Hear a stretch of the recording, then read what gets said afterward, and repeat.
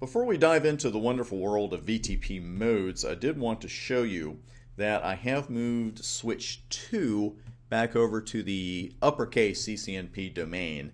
I did that off camera and I want to show you that. We got the same config message, you know, or confirm message we got before about changing it from the domain name from this to this. And then we get a console message. What I wanted to show you is that a few seconds after doing that, about 10 seconds, you can expect to see the line protocol go down and then you should see it come right back up a few seconds later. That's what the VTP domain change. And then I just ran show switch twos, show VTP status. This is one of the two different outputs you could see. And we could see that it's running version 2 right now and it's running in the VTP domain name CCNP all uppercase, which is what we wanted. Also, it's running in the default VTP operating mode of server.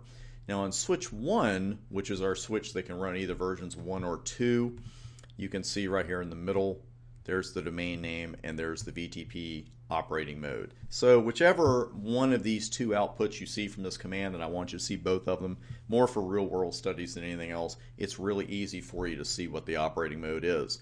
Now, let's take a look at IOS help.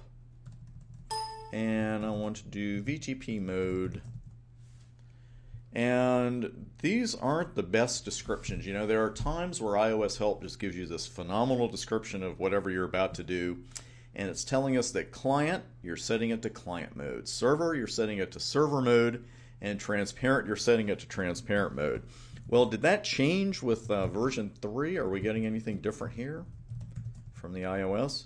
A little bit, because now we have an off mode. Uh, but that's really it. You're not getting a description of any of the modes, so we're about to go through those in detail. Uh, but I do want to point out now, and we'll repeat in this video most likely, that off is only available with version 3. It's not available on switches that can run only versions 1 or 2. It's got to be a version 3 capable server for you to do that. Now that we got all that out of the way, let's talk about what these modes actually do and frankly why we care. Now, in VTP server mode, a switch can create, delete, and modify VLANs. Now, create and delete, of course, those are pretty self explanatory, but modify, that's a pretty wide open term. What we mean by that is pretty much change the name of the VLAN. We don't mean add ports to a VLAN because I, have heard from a lot of students on that over the years. It's like, well, you know, am I not going to be able to add ports to a VLAN on a VTP client? Well, yeah, you will be able to, and you'll be able to in server, client, or transparent modes. Uh, we don't really consider that a modification of a VLAN. Uh, this also means, this rule means that we have to have at least one switch in any given VTP domain running in server mode, or else we're going to just uh, not be able to create new VLANs. We can't delete previously existing ones. You're going to end up with a bunch of clients and transparents just sitting there looking at each other. And that's definitely not what we want.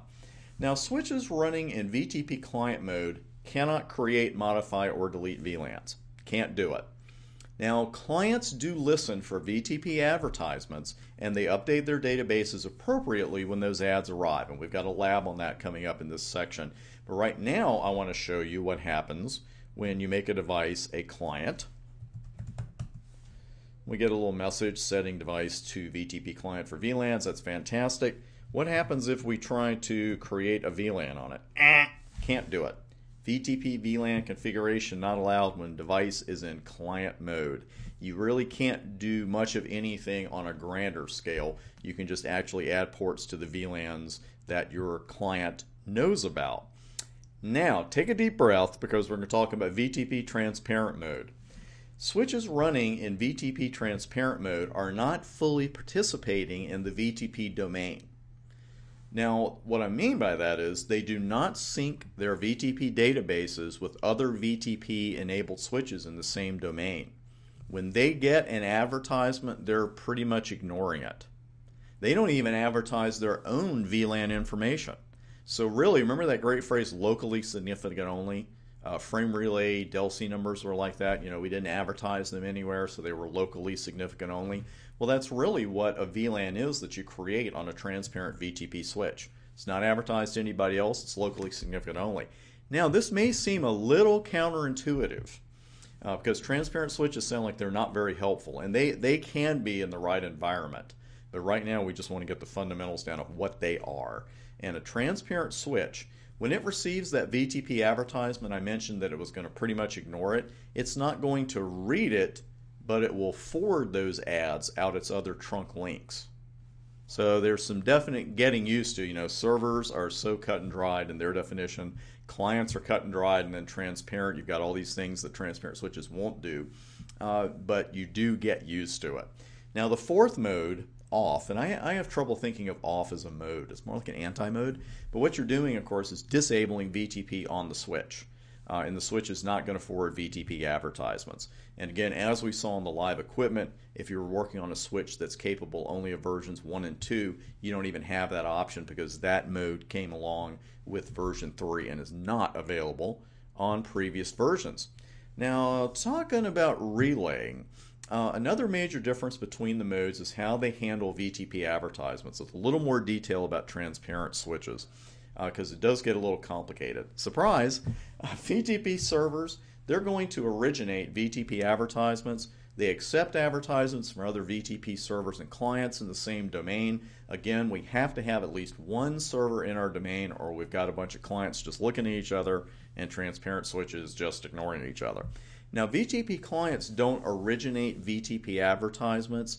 Um, they will send out, there isn't one exception. This is networking, we have to have an exception. Uh, there's one exception when a client first boots up and it's going to join a VTP domain, it will send one advertisement out. But the rest of the time, they don't originate ads, but they do pass them along. They're basically relay agents after they first boot up. Now, as you'd expect, VTP transparent switches are going to take a slightly more complicated approach. If your transparent switch is running VTP version 1, the switch will only forward incoming VTP ads only if the VTP version number and domain name is the same as those switches that would receive the forwarded advertisement. Right. if that's the first time you've heard it, I'm sure it's making your head swim just a little bit but if your if your switch is running VTP version 1, that's the deal. Now, if the transparent switch is running version 2, that switch will forward the VTP advertisements via its trunk ports, even if the domain name of the downstream switches does not match. Okay, so that's some good information we do need to know about transparent switches. Now, what we're coming up on next is something a little lot more straightforward and frankly a lot more helpful, and that's the VTP advertisement process and the config revision number. Now, with the advertisement process, we've been I've been mentioning VTP ads really since the beginning of this section, and we have three different kinds that we're going to look at in the next couple of videos, and we're also going to do a lab with this config revision number because this is a super important value.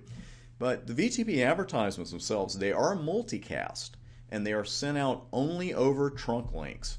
It's not one of those things that the switch just takes, you know, and just throws out every single port it has. And it makes sense to only send them out over trunk links because the only devices that even understand a VTP advertisement is another switch.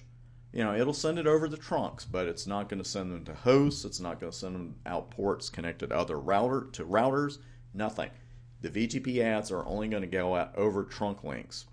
Now, along with the domain name and some other information, but VTP advertisements carry a configuration revision number. And what this does, it enables VTP enabled switches to make sure they have the latest information and that they're not overriding their current VLAN database to make room for old information. Because let's say you've got a switch just kind of sitting there in your network and it gets a VTP advertisement from another device. Well, that receiving device, that receiving switch, has to have some way to say, okay, um, I'm going to take this incoming information as the latest and greatest, and I'll overwrite my current database info with the contents of this update. Or, you know, the switch has to, or I should say, and, and the switch has to have a way to say, okay, this information that just came in is older than what I already have, so I'm going to ignore it. And in our lab, we're going to see that uh, one of those two things happen. Now, I want to talk to you about the ad types real quick, or one type, and that's the subset advertisement. This is triggered anytime there's a change in the VLAN landscape. Now, that change doesn't have to be a VLAN addition or deletion. It could be as simple as renaming a VLAN. and that may actually be what we do in the lab. We may do some addition and subtraction as well. Always like to do a little extra. Now, where to look for that configuration revision number on switch 2, this is our version 123 capable, and our revision number is down here under feature VLAN. Again, regardless of which one of the two switch types or output types you're looking at, this is easy information to find. On our switch that's only capable of versions 1 and 2, it's going to be right here. So right now we've got 4 on one switch and 4 on the other. So right now we have a tie in the configuration revision. And the reason that is actually even incremented is I did add and create some VLANs before I started this taping so we'd have a non-zero value to look at. But that's where to look for this particular value uh, as shown here on the screens. Now what I'm going to do, it's going to be slightly different uh, from the study guide or anything else you're reading because the revision number there is set to 2. Here it's 4. And what we're going to do in the lab is do some creating and some deleting and see if these numbers change and when they change. So I'll see you on the next video and we'll dive straight into that lab.